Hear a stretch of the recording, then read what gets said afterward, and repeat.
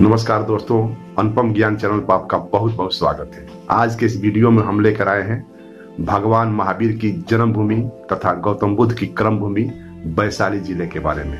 मैं हूँ अनुपम आलोक और आप देख रहे हैं अनुपम ज्ञान। वैशाली बिहार प्रांत के तिरहुत प्रमंडल का एक जिला है। मुजफ्फरपुर से अलग होकर 12 अक्टूबर 1972 को वैशाली एक अलग जिला बना। वैशाली ज़िले का मुख्यालय हाजीपुर है। वजिका तथा हिंदी वैशाली ज़िले की प्रमुख भाषा है। भगवान महावीर की जन्म असली होने के कारण जैन धर्म मतावलंबियों एवं बिहार के लोगों के लिए पवित्र नगरी है। भगवान बुद्ध का इस धरती पर तीन बार आगमन हुआ है।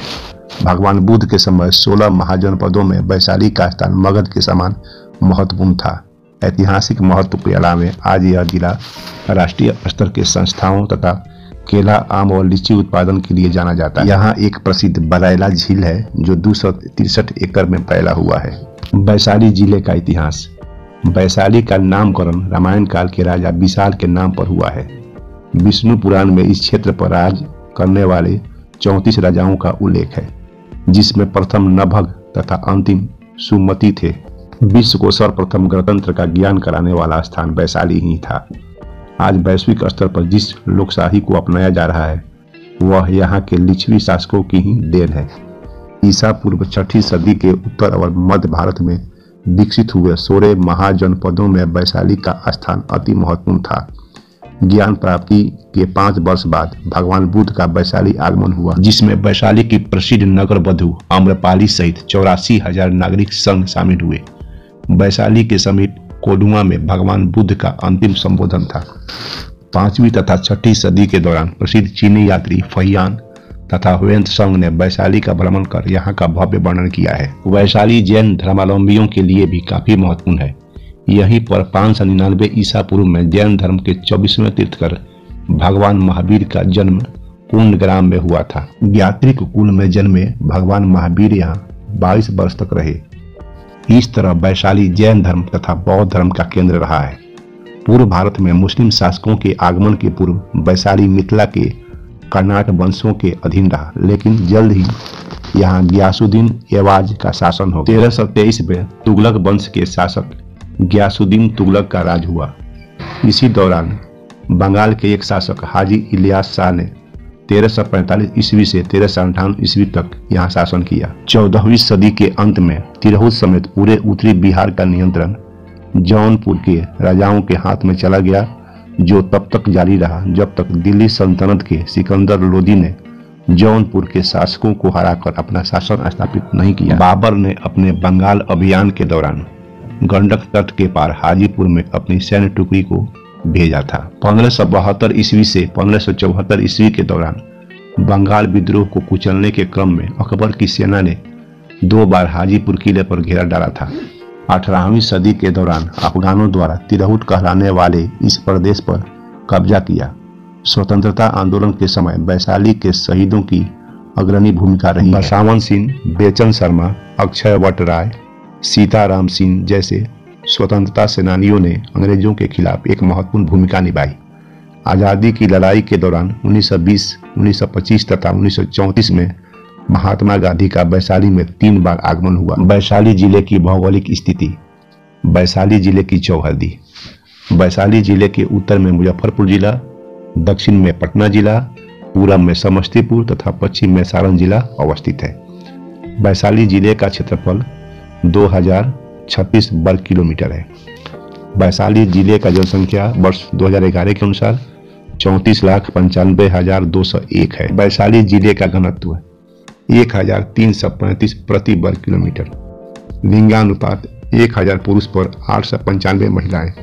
साक्षरता दर छियासठ दशमलव छः ज़ीरो प्रतिशत। वैशाली ज़िले की प्रमुख नदियाँ गंगा तथा गंडक है। प्रशासनिक विभाग। वैशाली ज़िले में तीन अनुमंडल हैं, हाजीपुर महुआ तथा महनार।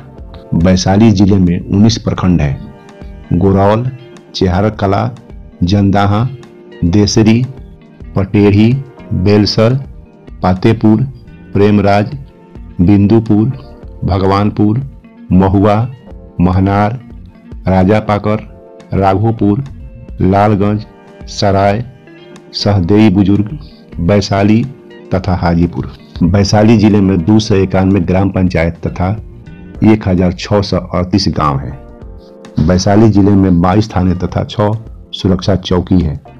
वैशाली ज़िले में आठ विधानसभा सीट है।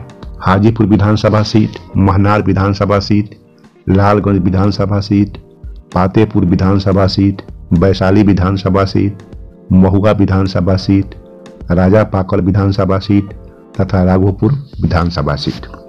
वैशाली ज़िले में दो लोकसभा सीट है। हाजीपुर लोकसभा सीट तथा वैशाली लोकसभा सीट। कृषि, वैशाली ज़िले की प्रमुख खेती गेहूँ, धान, मक्का, केला, लीची, आम तथा तंबाकू की होती है। वैशाली ज़िले की शैक्षणिक संस्थान। वैशाली ज़िले में नौ सौ चौवन प्राथमिक विद्यालय, तीन सौ नवासी मध्य विद्यालय तथा इक्यासी उच्च विद्यालय हैं। इसके अतिरिक्त सर्व शिक्षा अभियान के अंतर्गत 105 विद्यालय दो सौ छियालीस नवसृजित प्राथमिक विद्यालय 210 बाल विकास विद्यालय, छह चरवाहा विद्यालय तथा एक जवाहर नवोदय विद्यालय खोले गए हैं। वैशाली ज़िले के प्रमुख डिग्री कॉलेज, राजनारायण महाविद्यालय, हाजीपुर, देवचंद महाविद्यालय, हाजीपुर जमनी लाल महाविद्यालय, हाजीपुर, वैशाली महिला महाविद्यालय, हाजीपुर अक्षय वट महाविद्यालय, महुआ, समता महाविद्यालय औरनिया जमदाहा डिग्री महाविद्यालय भगवानपुर, अवध बिहारी सिंह महाविद्यालय लालगंज, ये सभी महाविद्यालय डॉक्टर बाबा साहेब भीमराव अंबेडकर विश्वविद्यालय मुजफ्फरपुर से अंगीभूत है। वैशाली ज़िले की प्रमुख दर्शनीय स्थल नंबर एक अशोक स्तंभ। वैशाली में हुए महात्मा बुद्ध के अंतिम उपदेश की याद में सम्राट अशोक ने नगर के समीप कोल्हुआ में लाल बलुआ पत्थर के एकाशम सिंह स्तंभ की स्थापना की लगभग 18.3 मीटर ऊँचे इस स्तंभ के ऊपर घंटी के आकार की बनावट है, जो इसको आकर्षक बनाता है। नंबर दो, बौद्ध स्तूप। दूसरे बौद्ध परिषद की याद, यहाँ पर दो बौद्ध स्तूपों का निर्माण किया गया था। पहले तथा दूसरे स्तूप में भगवान बुद्ध की अस्थियाँ मिली है। यह स्थान बौद्ध अनुयायियों के लिए काफ़ी महत्वपूर्ण है। नंबर तीन, अभिषेक पुष्पकर्णी। वैशाली में नव निर्वासित शासक को इस सरोवर में स्नान के पश्चात अपने पद, गोपनीयता और गणराज्य के प्रति निष्ठा की शपथ दिलाई जाती थी। इसी के नज़दीक लिच्छवी स्तूप तथा विश्व शांति स्तूप स्थित है। नंबर चार, राजा विशाल का गढ़। राजा विशाल का गढ़ एक किलोमीटर परिधि के चारों तरफ़ तथा दो मीटर ऊँची दीवार है, जिसके चारों तरफ़ तैतालीस मीटर चौड़ी खाई थी।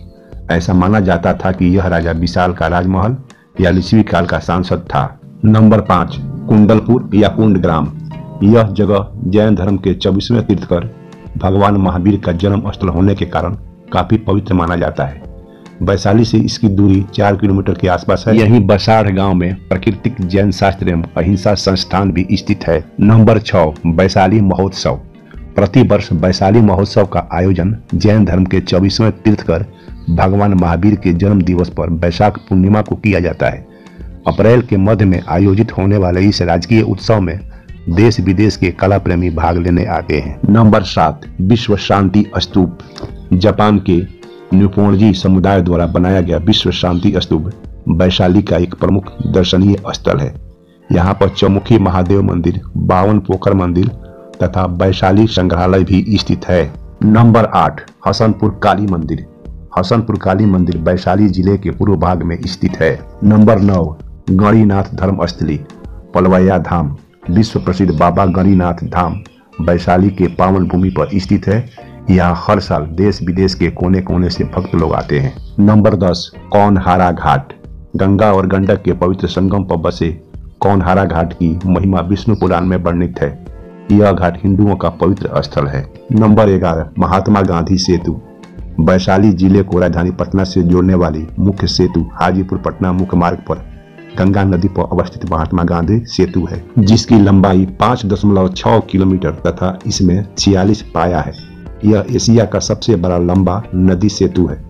इसके अलावा वैशाली में और भी अनेक प्रसिद्ध पर्यटन स्थल अवस्थित हैं, जैसे नेपाली छावनी मंदिर, रामचौरा मंदिर भूया स्थान, बूढ़ी माई का मंदिर, हाजी साहब, मखदूम सराय का मजार इत्यादि प्रमुख है। तो मैं आशा करता हूँ कि जिला वैशाली पर आधारित यह जानकारी आपको काफ़ी अच्छी लगी होगी।